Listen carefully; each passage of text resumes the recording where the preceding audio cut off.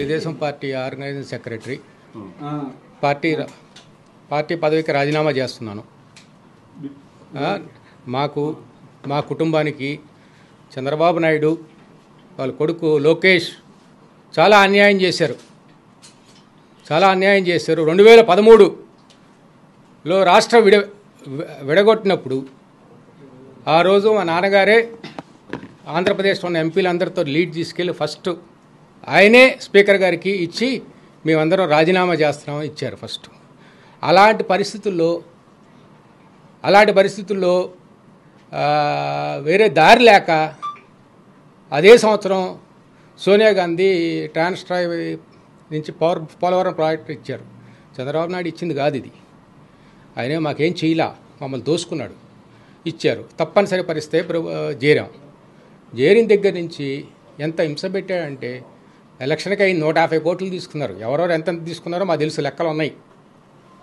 లోకేష్ ఆ ప్రాజెక్టులో నాశనం చేసి సర్వనాశనం చేశారు. మేము ఏదో బాగుపడతామని సహాయం చేయాలి కానీ మమ్మల్ని నాశనం చేయటమా? చంద్రబాబు నాయుడు లోకేష్. దొంగలు ఒకళ్ళు తెలియకుండా ఒకళ్ళు. సబ్ కాంట్రాక్ట్ వాళ్ళు సోమవారం సోమవారం పోలవరం సోమవారం అన్నాడుగా అన్నీ పచ్చి అబద్ధాలు. వాళ్ళు వస్తే బేవర్స్ అదొక పార్టీ కాదు. అది ఒక పార్టీ కాదు. ప్రజల కోసం ప్రజల అవసరాని కోసం కాదు. వాళ్ళ కోసం అది. వాళ్ళ వాళ్ళ బాగోగులు వాళ్ళ కుటుంబ సభ్యులు. అదొక వ్యాపార సంస్థ.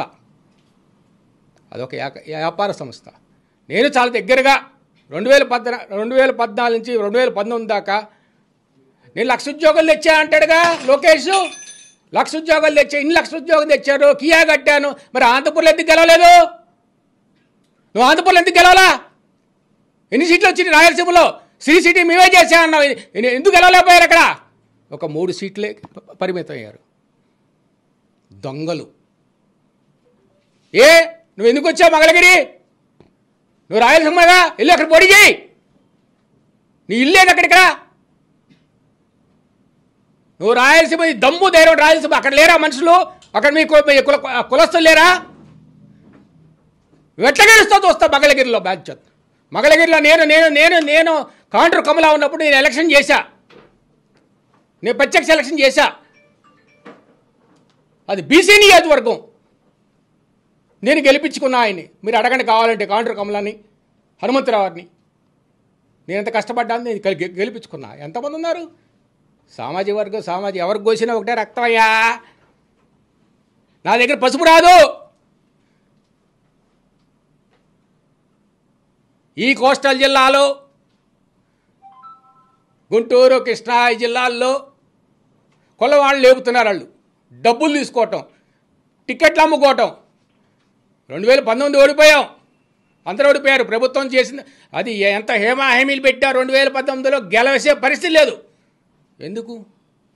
ఒక ఆలో ఆలోచించారా? నీ ప్రభుత్వం సరిగ్గా పనిచేయలేదు. నువ్వు స్వార్థ రూపంలో పనిచేసావు. నేను నీ అపాయింట్మెంట్ కోసం పాతి ముప్పై మంది బయట ఎమ్మెల్యేలు వెయిటింగా మా నాన్నగారు ఒక గంట సేపు వెయిట్ చేశారు. ఒక చిన్న ప్రపోజలు అది అవలా ఎందుకైనా? ఎంత బాధపడ్డారు? ఏమన్నాడు? వినుకొండ. వినుకొండలో సాక్షాత్తు పబ్లిక్ మీటింగ్లో విన పల్నాడు వాటర్ ప్రాజెక్ట్ చేస్తా అన్నాడు. ప్రతి ఇంటికి కులాయిస్తా అన్నారు. రాయపాటి సాంబశివరావు గారిని బాధ్యత తీసుకోమని తీసుకున్నారు. సంవత్సరం కష్టపడ్డారు. సెంట్రల్ గవర్నమెంట్కి వెళ్ళారు. అక్కడ లోకల్ ఆర్డబ్ల్యూఎస్ ఇంజనీర్ దగ్గర ఇప్పటికే ఉంది ఆ ప్రాజెక్ట్ రిపోర్టు. ఆర్డబ్ల్యూఎస్ వాళ్ళు డిపార్ట్మెంట్ వాళ్ళు చేశారు. చేసిన తర్వాత అది తీసుకొని ఢిల్లీ వెళ్ళి ఢిల్లీ వాళ్ళతో మాట్లాడి మినిస్టర్తో ఐఏఎస్తో మాట్లాడి బాబు డ్రింకింగ్ వాటర్ వాళ్ళు ఒకటే అన్నారు. డ్రింకింగ్ వాటర్ ప్రధానమంత్రి మోదీ హండ్రెడ్ పర్సెంట్ ఓకే చేస్తారు. దానికి ఆయన మీరు స్టేట్ గవర్నమెంట్ పంపించండి ఆయన ఫండ్స్ సెపరేట్ ఇది సెపరేట్ మీరు డైరెక్ట్గా సెంట్రల్ ఫండ్స్ రిలీజ్ చేస్తాను. చంద్రబాబు నాయుడు దగ్గరికి వస్తే ఆయన ఆయన ఇదిగో ఇదిగో ఇదిగో అంటారు. వాళ్ళకి చెప్పి వీళ్ళకి చెప్పి చంద్రబాబు నాయుడు కాదు చంద్రబాబు ఏంటి? ఆయన డైరెక్ట్ ఎలక్షన్లో గెలిచాడు ఎప్పుడన్నా? అది చేయలేదు. పోనీ మా సంగతి తీసేయండి. పార్టీని నమ్ముకొని అన్నారు ఎన్టీ రామారావు స్థాపించిన దగ్గర నుంచి. వాళ్ళ కోసం ఏం చేసావు వాళ్ళ కోసం ఏం చేసావు ఈరోజు వాళ్ళు ఎకరో రెండు ఎకరాలు ఉన్న అమ్ముకొని ఇబ్బంది పడితే అప్పుల్లో ఉంటున్నారు.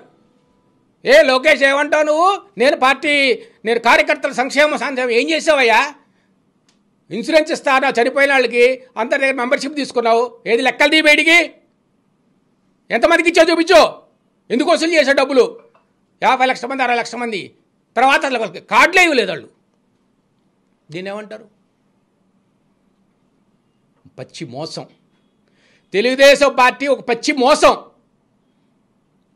నేను క్లియర్గా చెప్తున్నా. మేము మేము నలభై ఏళ్ళ నుంచి రాజకీయం మా కుటుంబంలో మా నాన్నగారు నాలుగు సార్లు ఐదు సార్లు ఎంపీ అయ్యారు ఒకసారి ఓడిపోయారు ఒకసారి రాజ్యసభ చేశారు మా చిన్నాన్న జడ్పీ చైర్మన్ చేశారు డీసీసీ ప్రెసిడెంట్ తొమ్మిది సంవత్సరాలు చేశారు మా తమ్ముడు మేయర్ చేశారు. ప్రత్యక్షంగా రాజకీయం మా కుటుంబం మా ఇంట్లో నేను కలత చిన్నప్పటి నుంచి చూస్తానే ఉన్నా. ఇక్కడ కుల మతం లేదు. అందరికి వచ్చిన వాళ్ళు వచ్చినట్టు పని చేసాం చేతనైన పని చేసాం చేతనైన సహాయం చేసాం ఆ రోజుల్లో టెలిఫోన్ కనెక్షన్లే ఉండేవి కాదు. టెలిఫోన్ కనెక్షన్ కూడా ఢిల్లీ నుంచి తీసుకొచ్చి ఎక్స్ట్రా తీసుకొచ్చి ఇచ్చేవాళ్ళం రూపాయి ఆశించకుండా. ఇది మేము చేసిన ఆయన చేసిన సర్వీస్. మేము దెబ్బతిన్నాం. కుటుంబ దెబ్బతిన్నాం మేము మేము ఫైనాన్షియల్గా దెబ్బతిన్నాం. మేము ఎవరి దగ్గర మోసం చేయలా? చేసింది వాళ్ళు. ఏమయ్యా నీకు నేను ఒకటో మాట చెప్తున్నాను. లొకేషన్ అడుగుతున్నా నీరు చెట్టు గుంటలు తీయటం అని ఎంత దోసుకున్నారు? గుంటలు తీయటం అంటే మిగతా జనం అంత ఆయన చేసే పని గమనించలేదా? ఈ జనమూల కమిటీలు ఏంటి? అంటే మిగతా వాళ్ళు మనుషులు కాదా? ఎంత దోసుకున్నారు? రెండు వేల పద్నాలుగులో ఎస్సీ నియోజకవర్గంలో రాష్ట్ర వ్యాప్తంగా ఒక్క ఎస్సీ ఎమ్మెల్యేని పని చేయనిచ్చారా? చెప్పనండి. నేను ఛాలెంజ్ చేస్తున్నాను. ఇక్కడ మా గుంటూరు జిల్లా చూడండి పత్తిపాడు. ఆయన పని చేయనిచ్చారా? ఇక్కడ తాటికొండ చూడండి పని చేయనిచ్చారా? నేను మూడు నియోజకవర్గం ఇన్ఛార్జ్కి పంపించాను నన్ను. ఒకటి గోపాలపురం ఇంకొకటి ఏమన్నా మంత్రి జవహర్ జవహర్ గారిదమ్మా కొవ్వూరు. అక్కడ పని చేయనిచ్చారా? మీరు వెళ్ళి జవహర్ని గుండెల మీద చేసుకొని చెప్పమను. ఎంత ఎంత ఆయన పని చేయనప్పుడు చివరికి వెళ్ళగొట్టేలా చేశారు. ఏ ఎస్సీలకి ఇచ్చే విలువ ఇదా మీరు? మీకు మీరు ఎక్కడి నుంచి వచ్చారు? దిగొచ్చారా మీరేమన్నా ఎంత అన్యాయం ఇది? పోనీ చివరిలో పార్టీ కార్యకర్తలు ఎంతమంది ఇబ్బంది పడుతున్నారు? వాళ్ళు చేసిన చిన్న చిన్న చిన్న వర్కులు బిల్లు కూడా ఆపిపారేశారు. ఏం చేశారు? రెండు లక్షల కోట్లు మూడు లక్షల కోట్లు తీసుకున్నారు. ఏం చేశారు డబ్బులు? ఇప్పుడు రెండు మూడు లక్షల కోట్లు ఆయన ఉన్నప్పుడు ఆ హయాంలో ఖర్చు పెట్టారు. ఏం చేశారు? మీరు ఒకటే గుర్తుపెట్టుకోండి నేను నేను ఇంత ఇంత ఇంట్రడక్షన్ ఇవ్వక్కర్లేదు. మీరు రెండు వేల కోవిడ్ టైంలో సంవత్సరంన్నర సంవత్సరంన్నర మనం అందరం ఇబ్బంది పడ్డాం. చిన్న చిన్న పని చేసుకునే వాళ్ళు కార్పెంటర్లు కానీ ఎలక్ట్రీషియన్ కానీ వాళ్ళందరూ చాలా ఇబ్బంది పడ్డారు. ఒకే ఉన్నాళ్ళు ఏదో ఉన్నారు వాళ్ళు రోజు రోజు గడటమే వాళ్ళ కష్టంగా ఉంది. అలాంటప్పుడు జగన్మోహన్ రెడ్డి గారు సంక్షేమ పథకం కింద ఒక సంవత్సరం బడ్జెట్ మొత్తం కేటాయించారు.